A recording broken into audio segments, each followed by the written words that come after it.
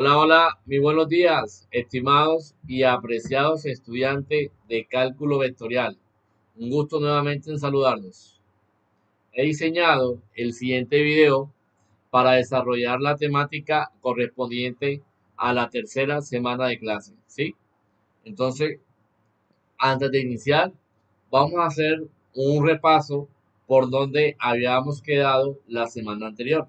Recordemos que la semana pasada estuvimos estudiando lo que es la parte de vectores ortogonales. Habíamos estudiado eh, ángulo entre dos vectores. ¿Cuál es el ángulo entre dos vectores? También habíamos estudiado eh, producto punto. Habíamos estudiado eh, cuáles son las ecuaciones de la recta en el espacio, que son las ecuaciones que ustedes ven ahí en la presentación. ¿sí? Entonces, recordemos que la ecuación que nosotros tenemos aquí arribita esta ecuación que vemos aquí, esa ecuación nosotros le, llamamos la ecuación vectorial de la recta. Y con esa ecuación, con la ecuación vectorial, nosotros podemos eh, inferir las otras ecuaciones. Podemos sacar las ecuaciones paramétricas y podemos sacar las ecuaciones simétricas. Entonces es muy importante que todos estemos familiarizados con este con, esta, con este conjunto de ecuaciones que ustedes ven allí. ¿Cómo podemos reescribir la ecuación vectorial? ¿Cómo podemos reescribir las ecuaciones paramétricas?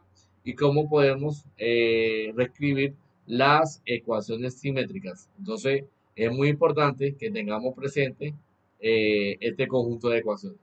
Entonces, la semana anterior nosotros veníamos trabajando algo como esto, ¿no? Vamos a poner por aquí. X, Y, Z igual x0, y0, z0, más t veces el vector de dirección, cuyas componentes son b1, b2, b3. Si nosotros nos damos cuenta, la semana, anterior, esto que está aquí es lo que nosotros conocemos como el vector de dirección. Recordemos que el vector de dirección nos da la dirección y la orientación de una recta tanto en el plano como en el espacio.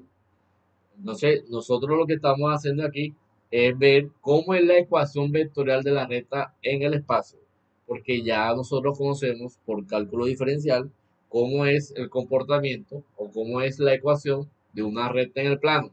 Pero nosotros acá, pues vamos a trabajar, todo lo que vamos a hacer aquí va a ser eh, con relación al espacio, ¿no? Al espacio tridimensional en R3. Entonces, este, este punto que ustedes ven aquí es un punto inicial. ¿sí? Es un punto inicial. Entonces, para nosotros poder inferir la ecuación vectorial de la recta, es muy importante que conozcamos un punto inicial y que conozcamos el vector de dirección. Recordemos que el vector de dirección tiene eh, componente B1, B2 y B3. Entonces, eso es muy importante que nosotros tengamos presente eh, en una ecuación de la recta, qué es lo que, básicamente, qué es lo que necesitamos. Entonces aquí el punto inicial y el vector de dirección juega un papel trascendental. Entonces esto es lo que nosotros conocemos como la ecuación vectorial de la recta en el espacio. ¿sí? La ecuación vectorial de la recta en el espacio. Ahora, a partir de esta ecuación vectorial, nosotros podemos deducir las ecuaciones paramétricas. Si usted se da cuenta, lo voy a hacer de un color diferente. Aquí me van a salir eh, tres ecuaciones. Por ejemplo, si nosotros eh, tomamos eh, la primera componente del lado izquierdo y la primera componente de cada uno de los términos que están a la derecha del signo igual, entonces miren lo que nos va a salir. Si del lado izquierdo cogemos x que es la primera componente, va a ser igual. Voy a coger la primera componente del lado derecho del signo igual. Entonces aquí me aparece x0 más el, t. Recordemos que t es un parámetro. Recordemos que eh, nosotros le llamamos parámetro o se le denomina parámetro de la ecuación eh, porque toma valores reales toman valores distintos sobre la recta numérica, ¿sí? Eso es lo que nosotros conocemos como un parámetro. Aquí T, pertenece a los reales, ¿no? Un parámetro es una variable que puede tomar valores distintos, puede tomar distintos valores sobre la recta numérica. Entonces, eso es muy importante que tengamos presente. Entonces, si nosotros nos damos cuenta, aquí t está acompañado con la primera componente del vector de dirección. Entonces, aquí nosotros podemos colocar t veces b1. Y si seguimos con el, con la misma, con el mismo análisis, entonces vamos a tener que y es igual a y0 más t veces es la segunda componente del vector de dirección. Y finalizamos que z es igual a z0 más t veces la tercera componente del vector de dirección. Nos damos cuenta, ya, ya habíamos dicho que aquí t es un parámetro. T pertenece a los reales. t es un parámetro, ¿sí? Habíamos dicho que se le llama parámetro de la ecuación porque ella toma valores diferentes sobre la recta numérica, ¿sí? Entonces, eh, cuando nosotros tenemos que un parámetro es una variable que puede tomar distintos valores, entonces nosotros también podemos inferir que vamos a tener distintos valores a otra, a cada una de las variables que vemos allí, ¿sí? Entonces, eh, aquí, estas ecuaciones, cuando tenemos el parámetro t, nosotros le conocemos y se le llaman las ecuaciones paramétricas. Esas son las ecuaciones paramétricas de la recta en el espacio. De la recta en el espacio. Ahora, si nosotros nos damos cuenta, esto que está aquí lo voy a llamar 1. Esto que está aquí lo voy a llamar 2. Y esto que está aquí lo voy a llamar 3. Entonces, si, yo, si nosotros despejamos t en la ecuación 1, ¿qué nos va a salir? Nos va a salir esto. Y lo voy a hacer aquí arriba. Si yo despejo de 1 de la ecuación 1 despejo t, entonces miren cómo me va a quedar. t va a ser igual a qué? A x menos x0 sobre b sub 1. Ahora, lo mismo, esto que está aquí lo puedo llamar 4. De la ecuación 2 también hacemos lo mismo. De la ecuación 2, si despejamos t, entonces aquí me va a quedar que t es igual a y menos y0 sobre b sub 2. Y esto que está aquí lo voy a llamar 5. Y finalmente, de 3, entonces lo voy a hacer aquí de un color diferente. Por ejemplo, eh, de 3, si despejamos nuevamente t, entonces aquí me va a quedar que t es igual a z menos z0 sobre b sub 3. Y esto que está aquí lo voy a llamar 6. Entonces miren que, que tenemos 4, 5, 6. En ambos están despejados t el parámetro t. Entonces, si nosotros igualamos, eh, si, nosotros igualamos esas ecuaciones, miren lo que a dónde llegamos. Igualando 4, 5 y 6, vamos a obtener lo siguiente. Por ejemplo, vamos a obtener que x menos x0 sobre b 1 es igual a y menos y0 sobre b sub 2. Y esto que está aquí es igual a z menos z0 sobre b sub 3. Y estas ecuaciones que ustedes ven aquí, muchachos, es lo que nosotros conocemos como las ecuaciones simétricas. Son las ecuaciones simétricas de la recta en el espacio.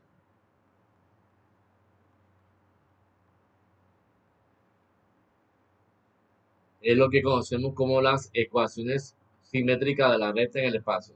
Entonces miren la importancia de este conjunto de ecuaciones. Eh, si tenemos la ecuación eh, de forma vectorial, nosotros podemos eh, encontrar las ecuaciones paramétricas, haciendo, digamos, desglosando a partir de la ecuación vectorial, si la desarmamos, nos van a salir las ecuaciones paramétricas. Y una vez que tengamos las ecuaciones paramétricas, despejando el, el, parámetro t en cada una de las ecuaciones, de las tres ecuaciones, entonces nos van a salir las famosas ecuaciones simétricas.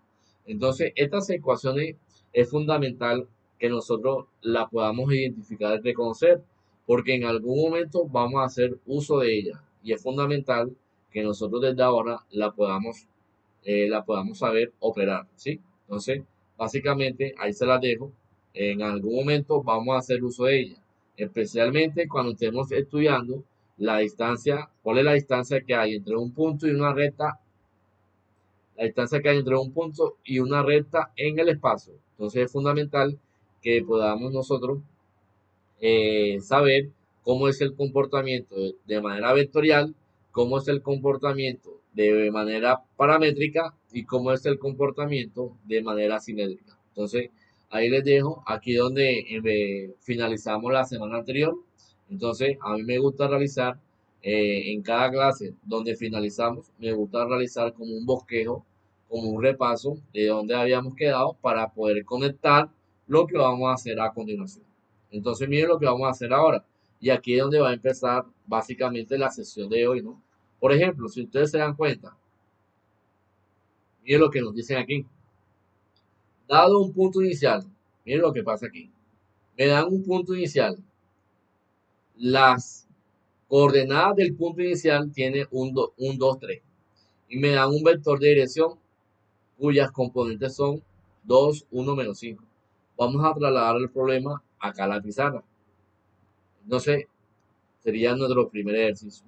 Entonces tenemos un punto inicial cuyas coordenadas son 1, 2 y 3. Y además tenemos un vector de dirección que tiene componente 2, 1, menos 5. 2, 1, menos 5. Entonces, miren lo que va a pasar aquí. Eh, nosotros podemos deducir, a partir de esta información, podemos deducir cuál es la ecuación vectorial de la recta sin ningún problema lo podemos inferir, porque ya sabemos cómo es el comportamiento o cómo es la estructura que debe tener la ecuación vectorial. Ya habíamos dicho que la ecuación vectorial, ella se comporta de esta manera, ¿no? X, Y, Z es igual a X0, Y0, Z0, más T veces el vector de dirección, B1, B 2 y B 3. ¿Sí o no? Pero nos damos cuenta que a mí el punto inicial me lo dan. Si ustedes se dan cuenta, eh, las coordenadas de P 0 son X0, Y0 y Z0. Las coordenadas, las componentes del vector de dirección, aquí sería mi B1, aquí sería mi B 2 y acá tenemos a B 3. Entonces, ¿qué va a pasar aquí? Cuando nosotros seguimos operando esta parte, mira dónde vamos. A ver, cuando nosotros reescribimos la información que nos da, en, la fórmula o en la ecuación o en la ecuación vectorial de la recta, vamos a obtener lo siguiente. Entonces aquí tenemos x, y, z es igual a x0, pero ¿quién es x0? 1. ¿Quién es y sub 0? 2. ¿Quién es z0? z sub 0 es igual a 3. Más t veces el vector de dirección. Pero las componentes del vector de dirección son B1, B1 en mi caso es 2. B sub 2 en mi caso es 1. Y B sub 3 en mi caso es menos 5. Esto que ustedes ven aquí es lo que ya hemos dicho. Es la ecuación vectorial de la recta en el espacio. Ahora, a partir de la ecuación vectorial, yo puedo inferir las ecuaciones paramétricas. Entonces, las ecuaciones paramétricas van a ser estas. Entonces aquí yo puedo, yo puedo colocar lo siguiente, que x es igual a 1 más 2t.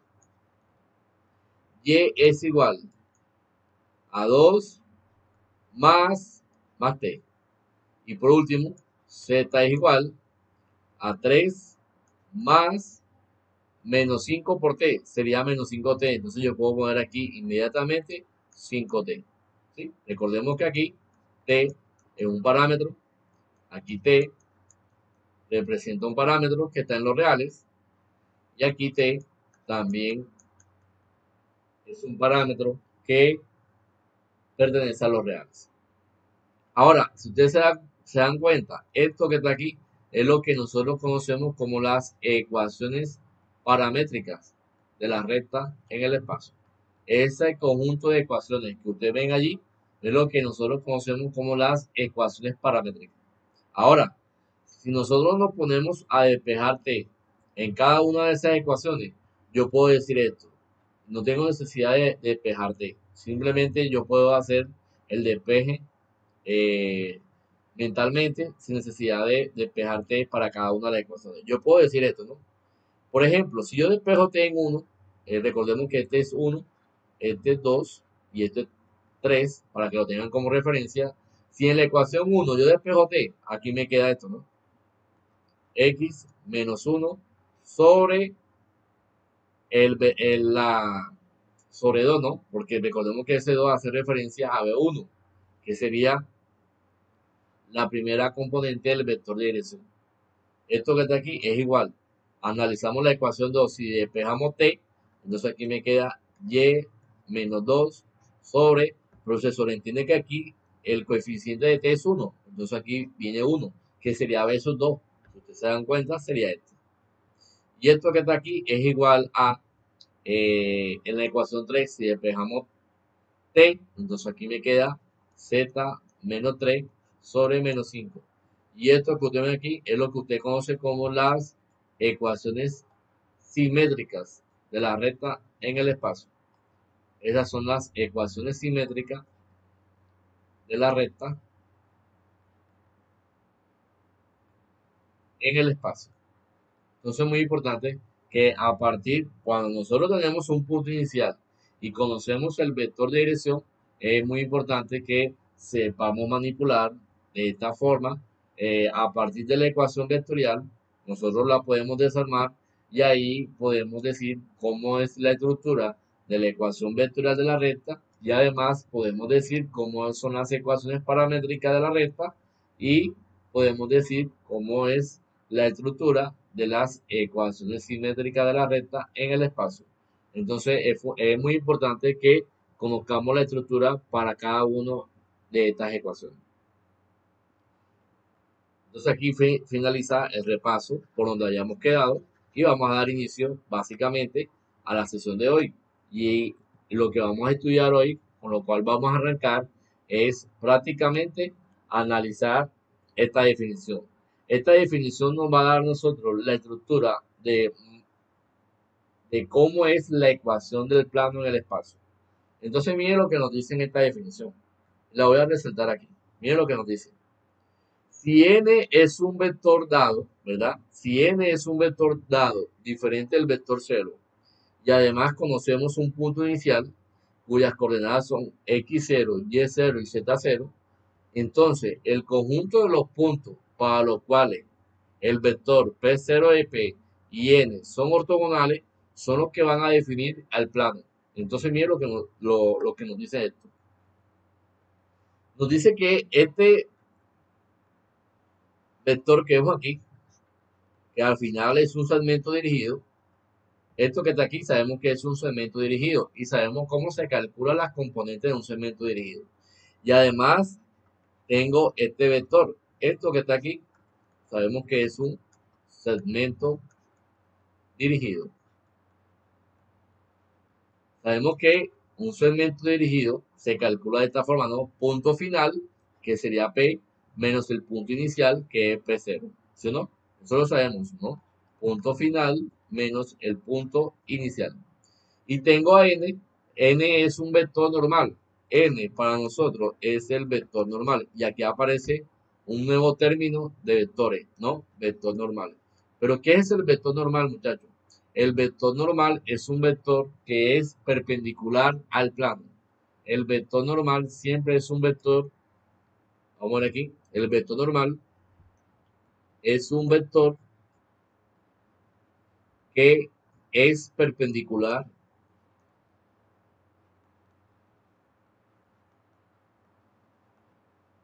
al plano. El vector normal siempre es un vector que es perpendicular al plano.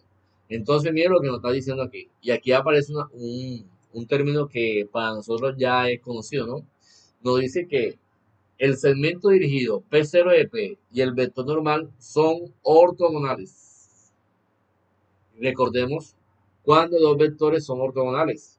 Entonces, la semana anterior habíamos dicho que si yo tengo dos vectores, si yo tengo un vector A y tengo un vector B, entonces vamos a decir que A y B son ortogonales.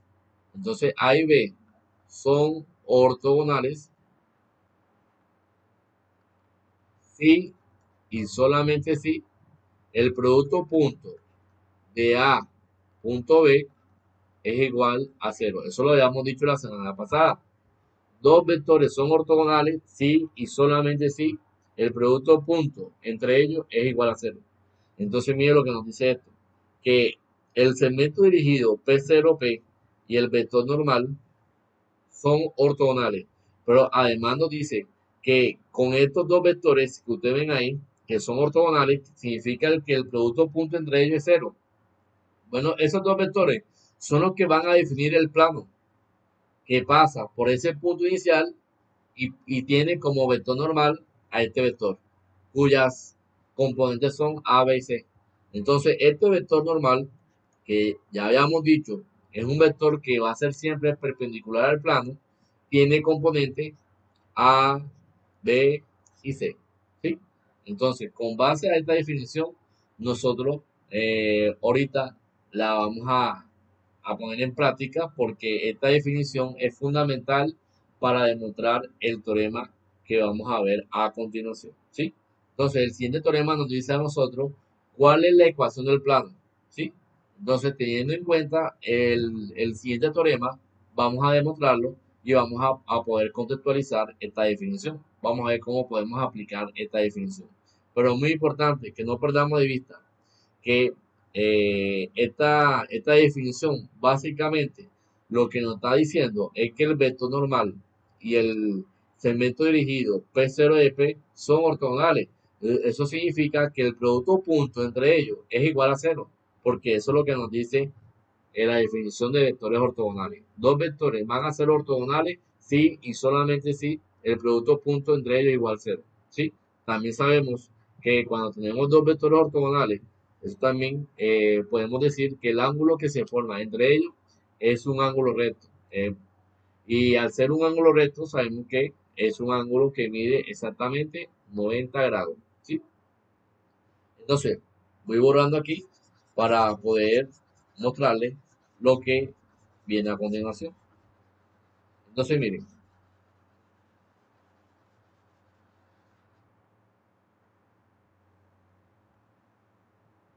Y miren el, siguiente teorema. El siguiente teorema nos dice cómo es la ecuación del plano. Entonces miren lo que necesitamos para demostrar la ecuación del plano necesitamos un punto inicial, que sería el punto P0. Y además necesitamos las componentes del vector, normal. Las componentes del vector normal son n es igual a a, b, c, son las componentes del vector normal. Y el punto inicial tiene coordenadas x0, y0 y z0. Entonces miren lo que nos dice este teorema. Si P0 es un punto del plano, y n es un vector normal al plano, entonces la ecuación del plano la podemos dar así. Esto es lo que nosotros conocemos como la ecuación del plano. Eso es lo que nosotros conocemos como la ecuación del plano. Entonces, ¿qué voy a hacer? Vamos a demostrar ese teorema. ¿Cómo lo podemos demostrar? Bueno, aplicando la definición que vimos ahorita. ¿Qué, ¿En qué se resume la definición que les, acabo de mostrar? Bueno, me dice que el, segmento P0P, el segmento dirigido P0P y el vector normal son ortogonales. Son ortogonales. Al ser ortogonales, eso significa que el producto punto entre P0P y el vector normal del plano es igual a cero. Entonces, vamos a tomar la definición y la vamos a aplicar aquí para poder demostrar ese teorema. ¿Y qué voy a demostrar? Voy a demostrar de dónde sale esa ecuación. Entonces, eh, eh, tengamos presente la ecuación. A, que multiplica x menos x0, más b, que multiplica y menos y0, más c, que multiplica z menos z0, eso es igual a 0. Eso es lo que nosotros conocemos como la ecuación del plano. Tengamos esa ecuación ahí en el papel, ¿sí? Entonces, voy a trasladar el teorema a la pizarra digital y vamos a hacer la demostración. Vamos a ubicar aquí una hoja en blanco. Entonces, ¿qué nos dice el teorema? Vamos a poner aquí teorema. Teorema número uno.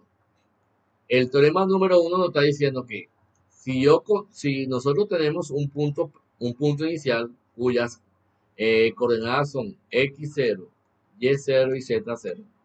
Y además conocemos un vector normal al plano que tiene componentes A, B, C. Entonces, este, eh, cuando nosotros tenemos el punto inicial y tenemos el vector normal, recordemos que esto que está aquí es el vector normal y ya sabemos que el vector normal siempre es un vector que es perpendicular al plano. Entonces se va a cumplir esto, muchachos. Entonces,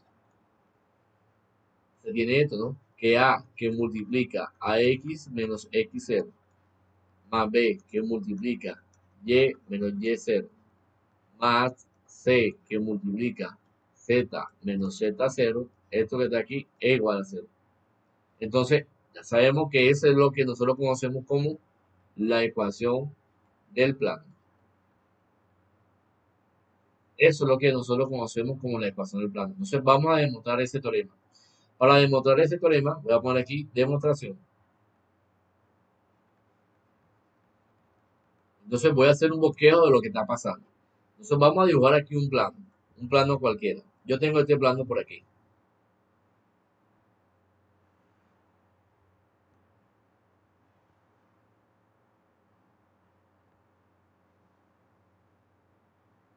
Ahí tenemos ese plano.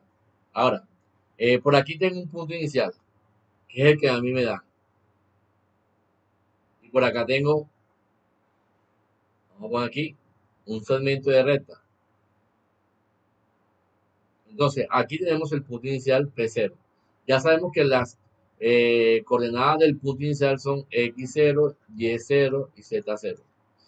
Y el punto el, el punto, digamos, sobre esta recta vamos a ubicar un punto, un punto final, que sería este, ¿no? Voy a poner por aquí que este es el punto P.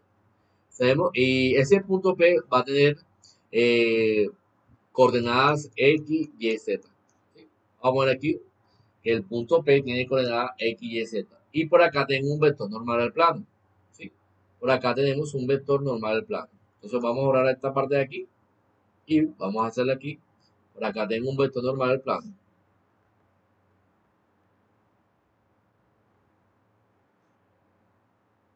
Entonces aquí tenemos, acá tengo un vector normal al plano. Ese vector normal que ustedes ven aquí tiene componentes A, B, C. Entonces, este vector normal siempre va a ser un, un vector que es perpendicular al plano, muchachos. Siempre va a ser perpendicular al plano. Entonces, recordemos que estamos haciendo aquí la demostración. Voy a inferir de dónde sale esa ecuación. Entonces, la definición que acabamos de mencionar ahorita, ¿qué nos dice la definición? Y voy a borrar aquí para poder contextualizar un poco la definición que habíamos mencionado ahorita. La definición nos dice lo siguiente. Que el segmento dirigido P0P y el vector normal son ortogonales. Entonces voy a partir de allí. Entonces miren lo que, lo, que, voy, lo que vamos a colocar aquí. El segmento dirigido P0 de P y N son ortogonales. Son ortogonales. Pero al ser ortogonales, por definición, se cumple esto, ¿no? Que el punto, el producto punto entre P0 de P y el vector normal debe cumplir esta condición, que debe ser igual a cero. Porque dos vectores son ortogonales si y solamente si el producto punto entre ellos es igual a cero. Listo. Ya tengo el producto punto. Voy a calcular ese producto punto. Pero para calcular ese producto punto necesitamos saber quién es P0 de P. Entonces, para calcular quién es P0 de P, lo voy a calcular aquí abajito. Lo voy a poner aquí. P0 de P Recordemos que es un segmento dirigido. ¿Y cómo se calcula las componentes de un segmento dirigido? Ya eso lo sabemos porque eso lo estudiamos la semana anterior. Entonces, P0 de P, aquí es igual. Bueno, esto va a ser igual al punto final, que sería P, menos el punto inicial, que es P0. Pero esto que está aquí es igual. Punto final que es P. ¿Pero quién es P? Aquí lo resalto las, las coordenadas del punto final son x, y, z. Entonces aquí colocamos x, y, z, menos el punto inicial. Pero ¿quién es el punto inicial? Bueno, las coordenadas del punto inicial son x0, y0, z0. Entonces aquí colocamos x0, y0, z0.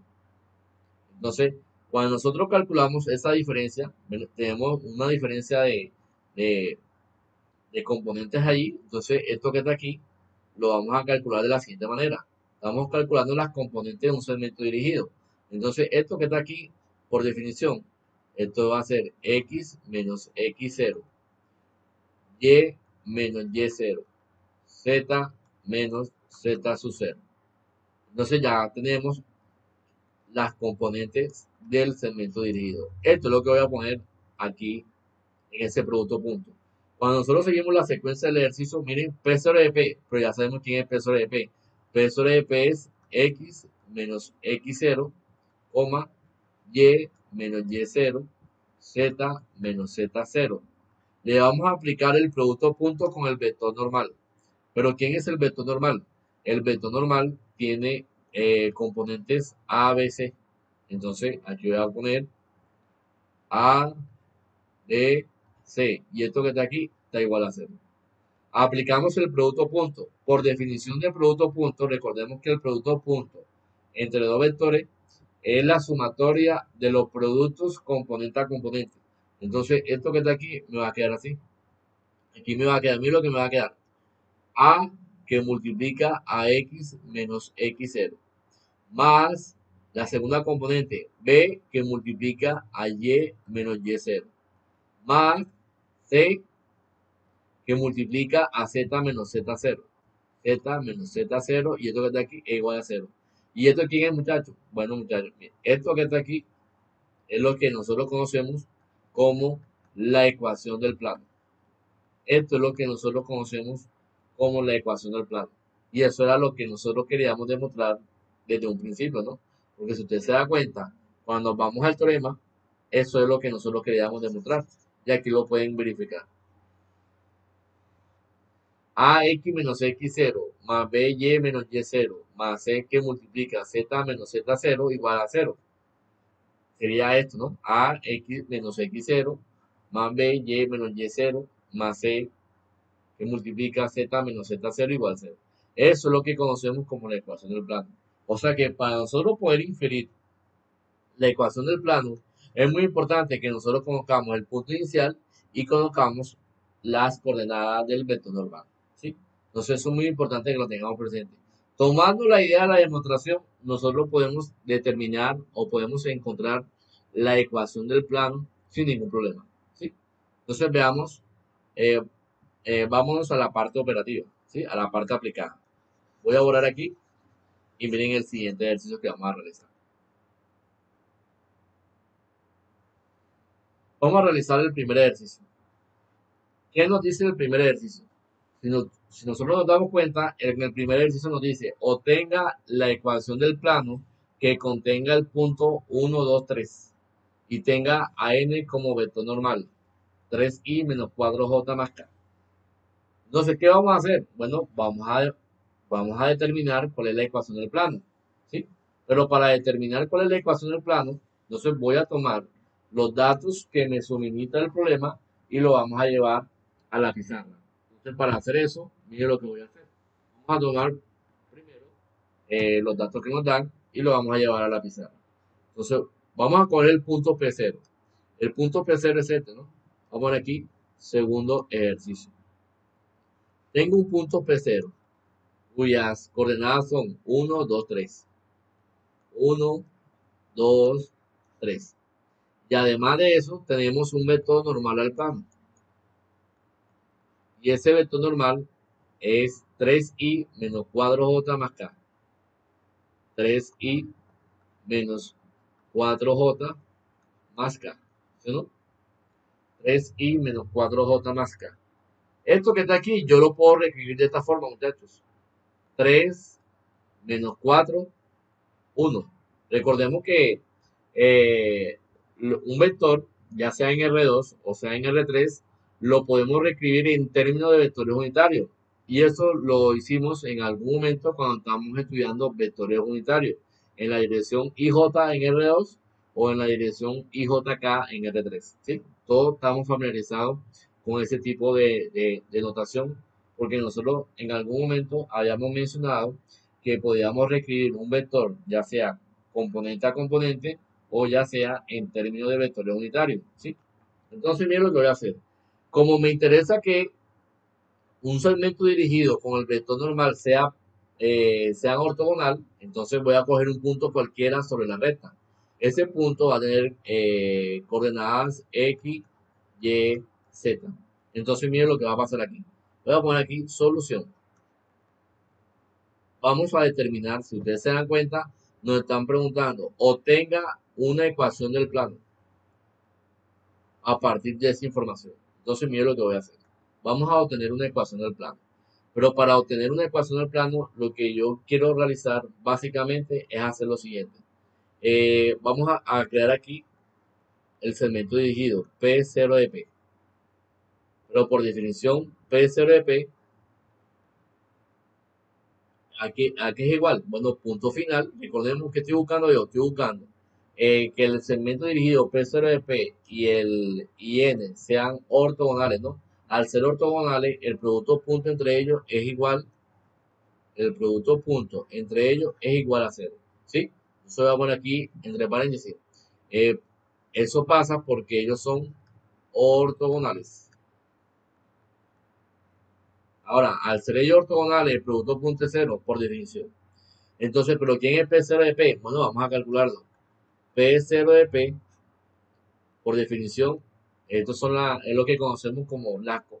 Vamos a calcular cuáles son las componentes de un segmento dirigido, que ya sabemos que se calcula punto final menos el punto inicial.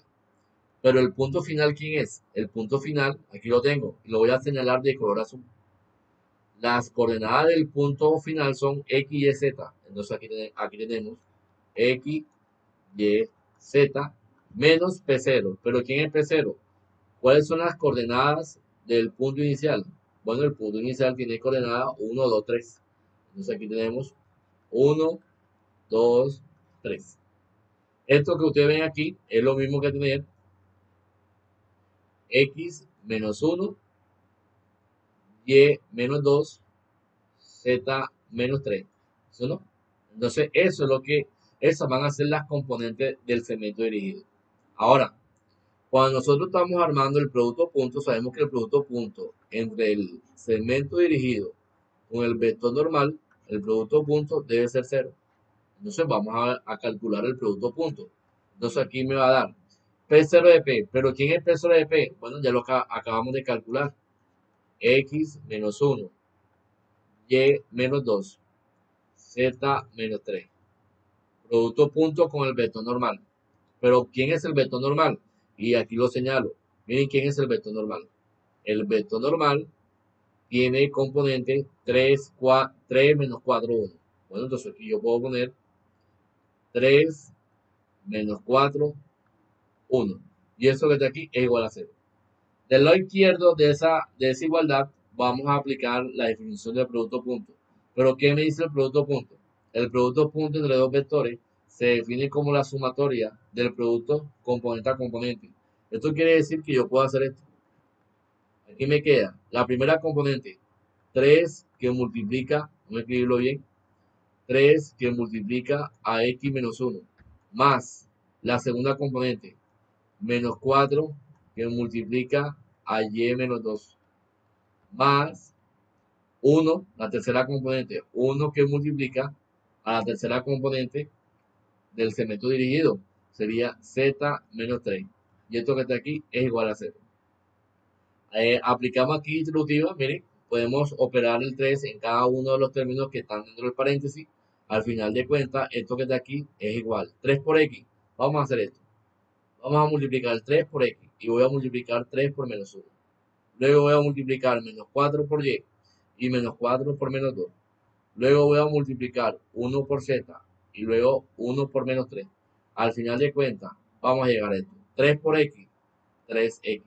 3 por menos 1. Menos 3.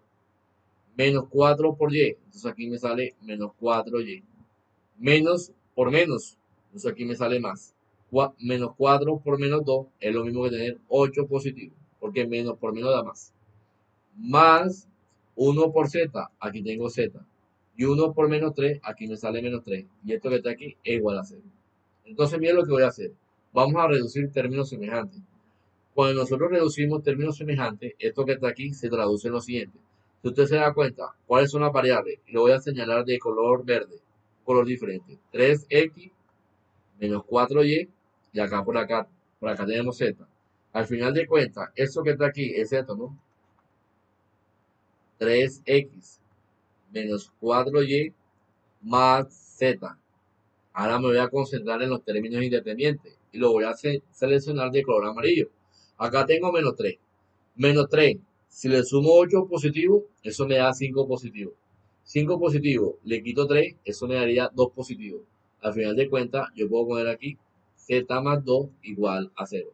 Y esto que ustedes ven ahí, muchachos, es lo que conocemos como la ecuación del plano. Era lo que inicialmente queríamos encontrar desde un principio. Esa es la ecuación del plano que pasa por el punto inicial, cuyas coordenadas son 1, 2, 3, y tiene como vector normal el plano 3 menos 4, 1. ¿sí? Las componentes del vector normal son 3 menos 4, 1. Entonces la ecuación sería 3x menos 4y más z más 2 igual 0. Es lo que conocemos como la ecuación del plano.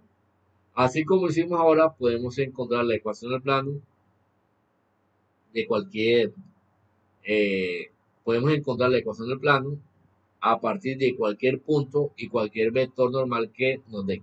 ¿sí? Entonces eso es muy importante que siempre lo tengamos presente. Ahora, supongamos que eh, si yo no, les doy el vector normal, eso puede pasar. Supongamos que yo, les doy una ecuación del plano, pero no les doy el vector normal. Entonces, cuando a mí me da la ecuación del plano, nosotros podemos inferir sin ningún problema cuál sería el vector normal al plano. Si ustedes se dan cuenta, y aquí lo voy a señalar, ¿cuál, cuál fue la ecuación del plano que hemos obtenido? La voy a poner aquí. La ecuación del plano que nosotros acabamos de, de hallar fue esta, ¿no? 3x menos 4y más z más 2 igual 0. Ya sabemos que esa fue la ecuación del plano que nos dio. Ahora, si usted se da cuenta, cuando a mí me dan solamente la ecuación del plano, yo puedo inferir sin ningún problema cuál es el vector normal asociado a esa ecuación. Entonces, mire, si usted se da cuenta, y lo voy a señalar aquí de color amarillo, los, los coeficientes que hacen, que están con, la, con las respectivas variables que están ahí, son los que definen el vector normal, si usted se da cuenta. Este 3, el 3 de las X, es la primera componente del vector normal, y aquí está el 3. Menos 4y, el coeficiente de y, es la segunda componente del vector normal. Y se sobreentiende que aquí tengo un 1 invisible. 1 por z, el coeficiente de z es 1 y ese 1 es la tercera componente del vector normal. Entonces, cuando a mí me dan, me, dan la, ecuación, la ecuación del plano, nosotros podemos inferir sin ningún problema cuál sería el vector normal asociado a esa ecuación. Entonces, ojo con esos comentarios que estoy haciendo aquí porque son eh, fundamentales para, para muchas de las cuentas que en algún momento estaremos realizando. Ahora, un estudiante me puede decir lo siguiente. Esto que está aquí lo voy a borrar. Me puede decir, profe, pero eh, listo, usted hemos encontrado la ecuación del plano a partir de la definición, porque si ustedes se dan cuenta, lo que yo hice voy a aplicar la definición. Pero si yo quiero aplicar el teorema, un estudiante me puede decir eso. Profe, pero si yo quiero aplicar el, teorema, bueno, si queremos aplicar el teorema, que ya lo podemos usar porque está demostrado, podemos encontrar la ecuación del plano y sería un segundo, un segundo camino, sería una segunda forma. ¿Sí? Ustedes se dan cuenta cuál es la ecuación del plano. ¿Qué nos dice el teorema? El teorema nos dice esto. El teorema nos dice lo siguiente. Esto es lo que nos está diciendo el teorema.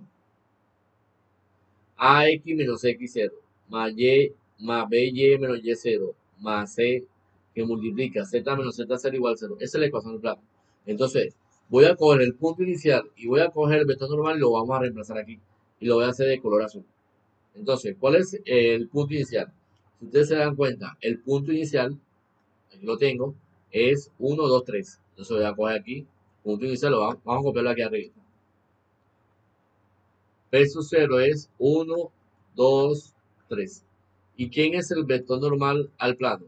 Bueno, el vector normal es 3 menos 4, 1. 3 menos 4, 1. 3 menos 4, 1.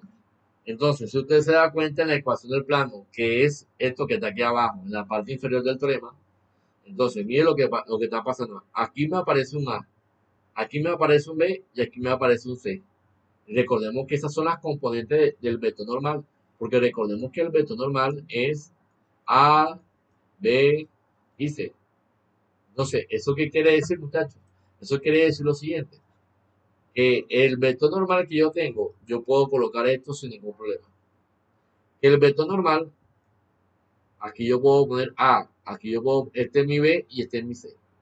¿Y quién va a ser X0, Y0 y Z0?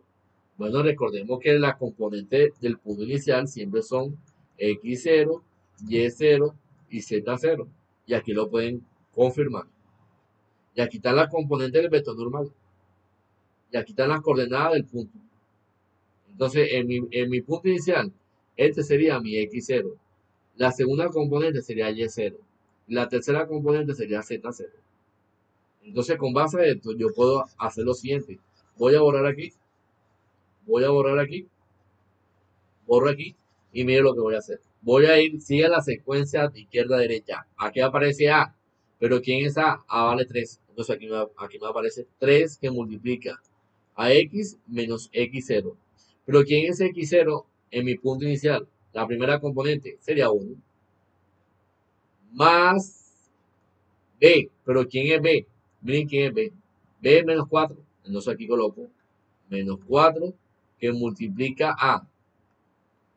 Menos 4 que multiplica a y menos y0. Pero ¿quién es y0? Sería la segunda coordenada del punto inicial. En mi caso sería 2 más C. Pero ¿quién es C? C es la tercera componente del vector normal, que sería 1.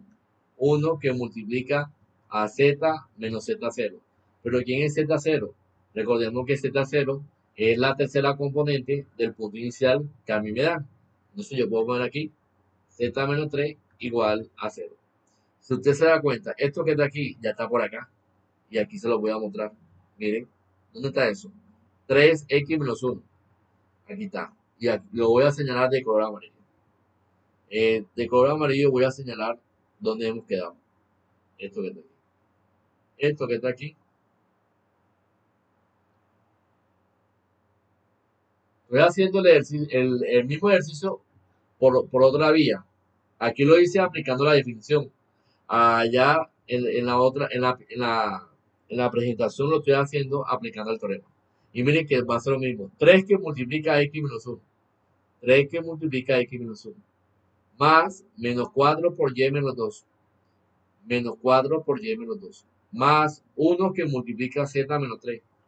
Más 1 que multiplica z menos 3. Eso quiere decir que de aquí en adelante, lo que es este procedimiento, lo que es este procedimiento, hay que hacerlo. Ya de aquí para allá, esta parte es fijo. Eso se hay que hacer. Entonces, hay que hacer lo mismo, ¿no? Se multiplica 3 por x, 3x, menos 3, menos 4 por y, menos por menos, entonces aquí me quedaría 8, más z, menos 3, igual a 0. Entonces aquí me va a quedar 3x menos 4y, colocamos las variables, más z, términos semejantes con relación a los coeficientes. Entonces aquí me queda menos 3 más 8, menos 3 más 8 me da 5 positivos. 5 le quitamos 3, aquí me daría 2 positivos. Y esto que está aquí es igual a 0. Y esto que está aquí es la ecuación del plano. Y aquí lo hice aplicando el, el teorema. Y me da lo mismo. Miren, 3x menos 4y, 3x menos 4y más z más 2 igual a 0. Más z más 2 igual a 0. Entonces, miren, también tenemos otra vía para encontrar o determinar la ecuación del plano. Como les dije, en matemática hay muchos caminos para, para realizar un ejercicio, pero todos los caminos nos van a conducir a la misma respuesta siempre y cuando hayamos aplicado procedimientos lógicos adecuados y que estén correctos. ¿sí? Entonces es muy importante que eso siempre lo tengamos presente. Hagamos otro ejercicio. Sería nuestro ejercicio número 3. Voy a borrar aquí. Hagamos otro ejercicio.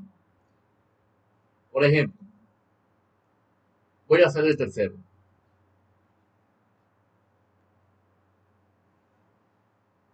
Nos dice, en el tercer ejercicio nos dice, encontrar una ecuación del plano que contenga el punto inicial 632 y tenga n como vector normal menos 2i menos j más 5k.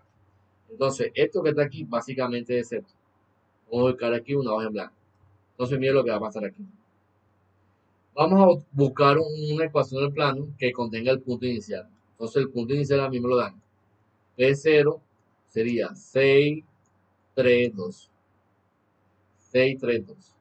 Y tengo un, un vector normal, un vector normal al plano, cuyas componentes son menos 2i, se va a poner aquí menos 2, menos j, entonces voy a poner aquí menos 1, 5k, entonces voy a poner aquí 5. Recordemos que esto que está aquí es un vector que está en R3, ¿sí o no? El vector normal. Eh, estaba, estaba escrito en términos de vectores unitarios y aquí lo hemos reescrito en términos componente a componente. Entonces vamos a encontrar la ecuación del plano. Sabemos que la ecuación del plano es z, a que multiplica a x menos x0, más b que multiplica a y menos y0, más c que multiplica a z menos z0, esto que está aquí es igual a 0. Entonces mira lo que va a pasar. Recordemos que a, b, son las componentes del, del vector normal al plano. En mi caso, a es menos 2. Entonces voy señalando. Aquí aparece A, entonces aquí A sería menos 2. Entonces aquí me aparece menos 2 que multiplica a X menos X0. Pero ¿quién es X0? X0 sería 6. Entonces aquí colocamos 6. Más B. Pero ¿quién es B? Es la segunda componente del vector normal al plano, que sería menos 1. Entonces aquí colocamos menos 1 que multiplica a Y menos Y0. Pero ¿quién es Y0? Y0 sería la coordenada del punto inicial, que sería 3. Más, más C. Pero ¿quién es C? C sería la tercera componente del vector normal. En ese caso sería 5. 5 que multiplica a Z menos Z0. Pero ¿quién es Z0? Recordemos que Z0 sería la tercera coordenada del punto inicial, que sería 2. Y esto que está aquí es igual a 0. Hacemos el producto que ustedes ven aquí, la multiplicación usual que nosotros conocemos, aquí me queda menos 2 por x, menos 12. Menos por menos, aquí me sale más. 2 por 6 es igual a 12. Menos 1 por y, más por menos da menos. Menos 1 por y sería menos y. Menos por menos, aquí me sale que eso igual a más. 1 por 3 es igual a 3. Más 5 por z, 5 por z sería 5z. 5 por menos 2, aquí me sale que es igual a 10. Y esto igual a 0. Entonces, miren lo que voy a hacer. Vamos a jugar, eh, vamos a poner las variables. Vamos a, no hay términos semejantes con relación a las variables, porque nada más aparece en esta y me aparece en esta. No tenemos términos semejantes. Por lo tanto, voy a poner aquí menos 2x menos y más 5z. Y esto que está aquí, vamos a jugar con los términos independientes, que sería 12 sería 3. 12 más 3 sería 15. 15 le quito 10 serían 5 positivos. Entonces aquí voy a poner 5 positivo igual 0. Entonces aquí hemos llegado menos 2x menos y más 5z más 5 igual 0. Yo lo puedo dejar aquí. Esto es lo que usted conoce como la ecuación del plano. Esa ecuación del plano, como ustedes la ven, yo la puedo dejar así o puedo multiplicar por menos 1 en ambos lados. Si multiplicamos por menos 1 esa ecuación, esto que está aquí es lo mismo que tener 2x más y menos 5z menos 5 igual a 0. Y también eso también sería la ecuación del plano, sino que aquí la hemos multiplicado por menos 1, ¿sí? Arriba lo que hicimos fue multiplicar por menos 1 y la, la hemos reescrito de esa forma. Eso también puede suceder.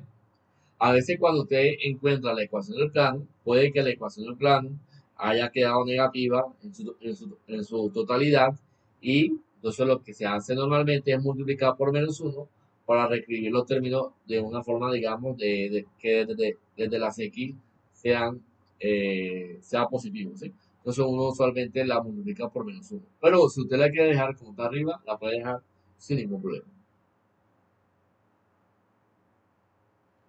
Vamos a borrar esta parte y mire lo que viene a continuación.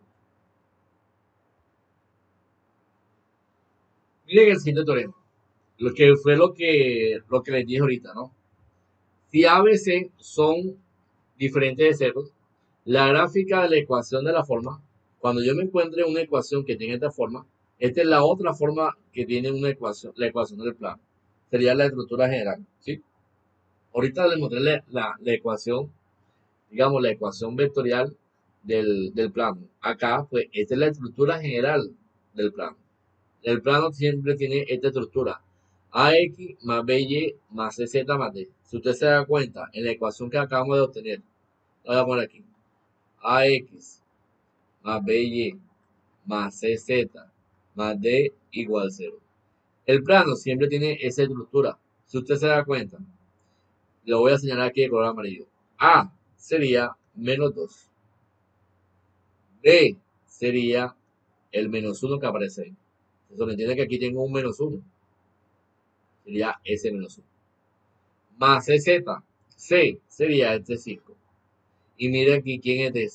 ¿Quién es D? D es el término independiente. El término independiente siempre va a ser un valor numérico, sea positivo o sea negativo. En mi caso va a ser D. Entonces, usted se da cuenta, cuando nosotros encontramos la ecuación del plano, ya, digamos, ya desglosada, entonces cuando la ecuación del plano está desglosada, ella siempre va a tener esa estructura AX más BY más CZ más D igual 0. Y aquí yo nosotros podemos deducir sin ningún problema cuál es el vector normal. El vector normal del plano, cuando no me lo dan, es ABC. Recordemos que ABC son los coeficientes de la variable X, Y, Z. ¿sí? Y eso es lo que nos está diciendo el teorema. Cuando nosotros, cuando nosotros tenemos la ecuación del plano ya desglosada ¿sí? en su totalidad, entonces, el vector normal del plano, ¿sí? El vector normal del plano va a tener componente ABC, donde A sería el coeficiente de X, B sería el coeficiente de Y, y C sería el coeficiente de Z. Y D, recordemos que D es el término independiente, es un valor positivo como puede ser un valor negativo. Es muy importante ahí que desde ya lo podamos tener presente. Voy a borrar esta parte y miren lo que viene a continuación. Miren este ejercicio. Este teorema en algún momento lo vamos a tener, lo vamos a, utilizar. Nosotros tengamos el, teorema ya a la mano. Primero, pues vamos a, a realizar unos problemas con relación a la ecuación del plano. Supongamos que ahora no me dan el, el vector normal. Entonces, si no me dan el vector normal, tenemos que eh, localizar, en, en otro caso, cuando no me dan el vector normal, tenemos que localizar ese vector. ¿Cómo podemos localizar nosotros ese vector? Bueno, muchachos, para poder localizar ese vector, eh, hay que hacer un conjunto de procedimientos que ya les voy a mostrar, los cuales nos va a ayudar, nos va a permitir poder encontrar la ecuación del plano. Entonces, miren lo que va a pasar aquí. Entonces, vamos a trasladar el ejercicio a la pizarra. Me voy a concentrar en el ejercicio número 1. Miren cuál es el ejercicio número 1. Sería este. Determine la ecuación del plano. Otra vez me dicen que determine la ecuación del plano. Pero miren que el vector normal ya no me lo dan. El vector normal no me lo dan. Pero además me dan tres puntos. Me dan un punto P. Me dan el punto Q y me dan un punto R. Con cada una de esas coordenadas que están ahí. Entonces nos están, nos están diciendo, determine una ecuación del plano. Entonces tenemos que calcular una ecuación del plano a partir de esos tres puntos. Entonces me voy a dirigir a la pizarra digital y vamos a copiar esos puntos que nos dan. Para eso Voy a poner aquí cuarto ejercicio. Entonces, vamos a borrar esto. Y mire lo que va a pasar acá. Eh, determine una ecuación del plano que pasa por el punto 1, 3, 2. Entonces me dan el punto, me dan el punto 1, 3, 2. Además, me dan el punto Q, que tiene coordenadas 3 menos 2, 2. 3 menos 2, 2. Y me dan el punto R, que tiene coordenadas 2, 1, 3. 2, 1, 3. Entonces tenemos que hallar la ecuación del plano. Entonces miren lo que voy a hacer. Vamos a dibujar aquí un plano.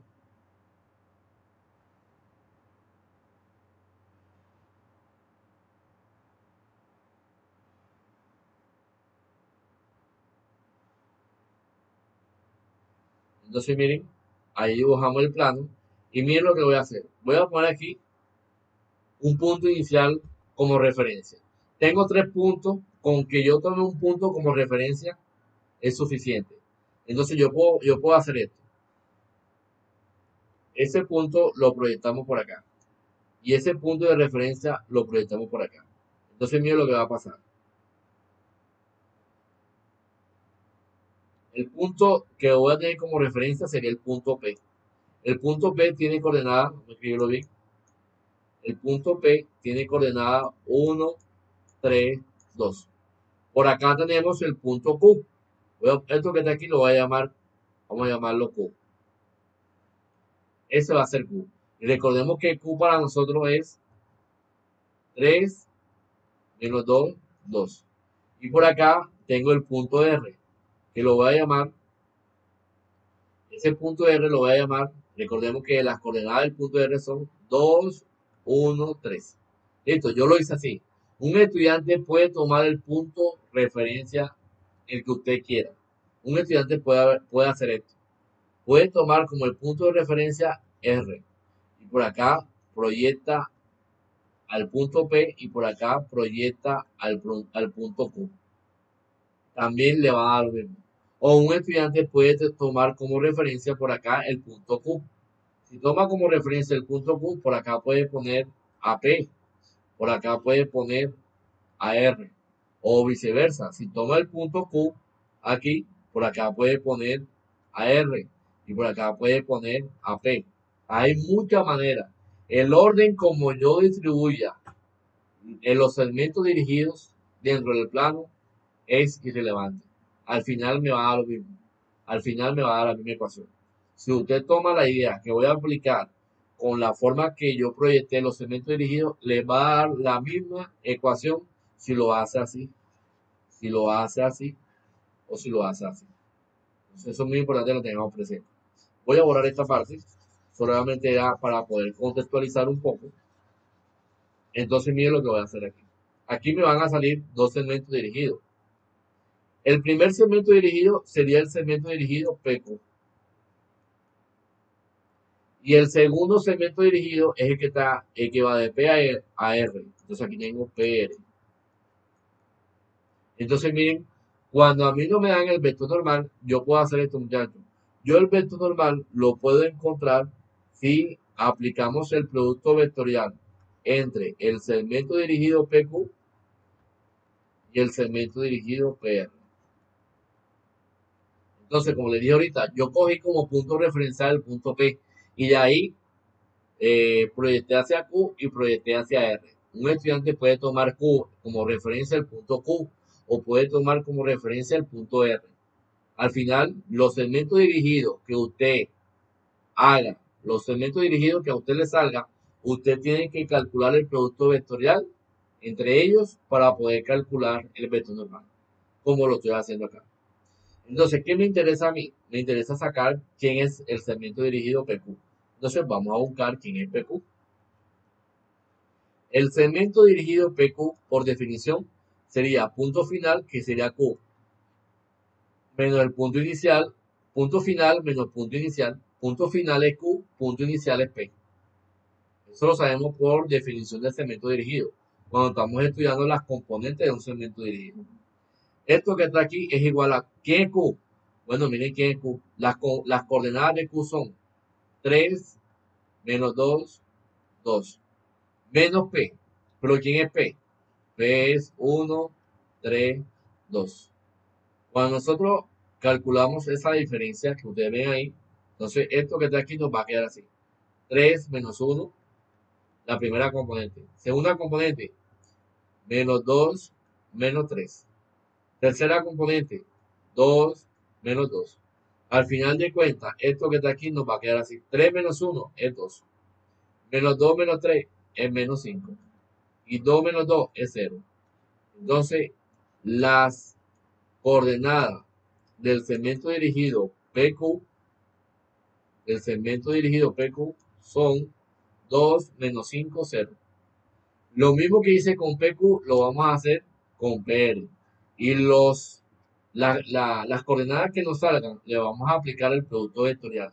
Y cuando le apliquemos el producto vectorial, eso que nos va a arrojar ahí va a ser un vector y ese vector va a ser el vector normal al plano.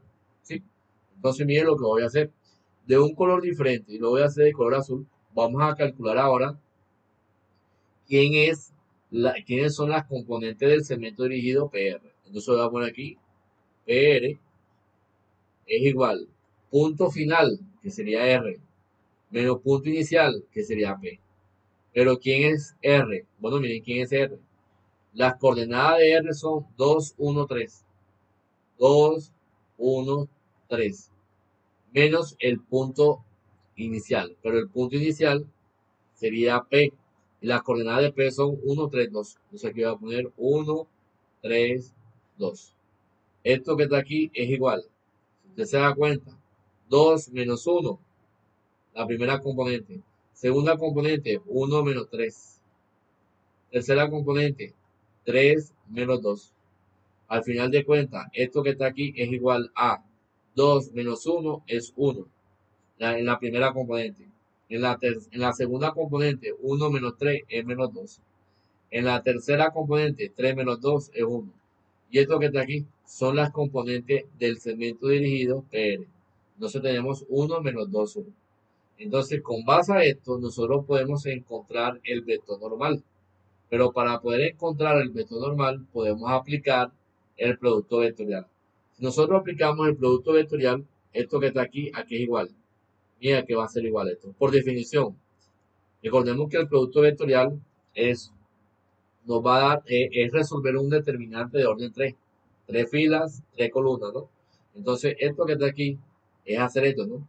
Por definición del producto vectorial, esto que está aquí sería, recordemos que el producto, el producto vectorial en la primera fila vamos a tener la, los vectores unitarios y J y JK. Y esto que está aquí sería así. En la segunda fila, por definición, vamos a colocar las coordenadas del segmento dirigido PQ. Pero ¿cuáles son las coordenadas del segmento dirigido PQ? Miren aquí, miren quiénes son. Las coordenadas de PQ son 2, 5, 0. Porque recordemos que estamos aplicando el producto vectorial entre PQ, que sería 2 menos 5, 0. Entonces por aquí voy a poner 2 menos 5, 0. Y ahora vamos a poner las coordenadas en la tercera fila. Vamos a colocar las coordenadas del segmento dirigido PR. ¿Y quién es PR? PR, miren, aquí lo voy a señalar. Las coordenadas de PR, que fue el segmento dirigido que acabamos de calcular, son 1 menos 2, 1. Eso voy a poner aquí 1 menos 2, 1. Resolvemos ese determinante. Entonces, para resolver ese determinante, recordemos que vamos de izquierda a derecha, ¿no? Vamos a coger la primera fila. Entonces, tomamos la primera fila. Voy a coger el elemento I el, primer vector unitario en la dirección y como tomamos el primer elemento, recordemos que ese primer elemento es el elemento de la primera fila, primera columna. Entonces tengo que eliminar la primera fila y la primera columna. Y me va a salir un determinante de orden 2. Entonces, en pocas palabras, y lo voy a poner aquí, el vector normal es igual. Entonces, escogemos, vamos a ponerlo un poquito más abajo, por si de no va, vamos a por aquí. El vector normal es igual entonces cogemos el primer elemento y que multiplica a un determinante de orden 2. Pero ¿cuál es el determinante de, de orden 2 asociado ahí? Bueno, muchachos, miren quién va a ser. Creo que lo puse muy, bueno, más pequeño.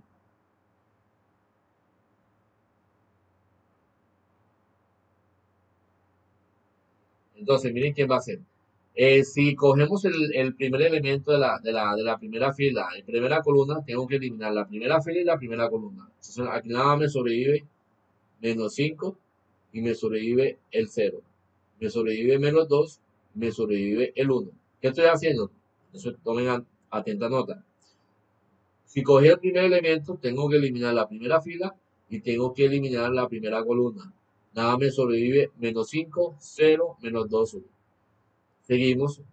Entonces aquí, cuando seguimos, aquí me queda menos j, porque recordemos que viene más, menos, más. Menos j veces. ¿Cuál es el determinante asociado a j? Bueno, el determinante asociado a j va a ser este, ¿no?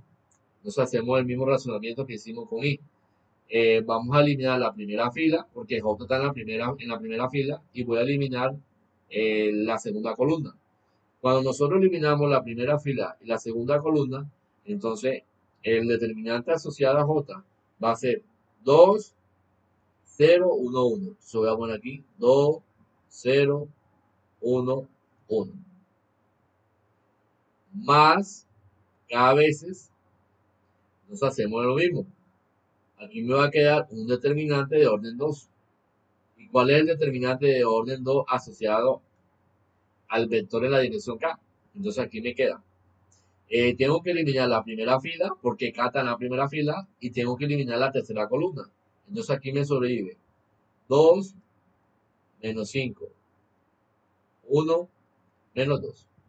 Al final de cuentas, cuando nosotros desarmamos esos determinantes 2 por 2, 2 eh, por 2 que me salieron allí, entonces a mí me queda que el vector normal es igual.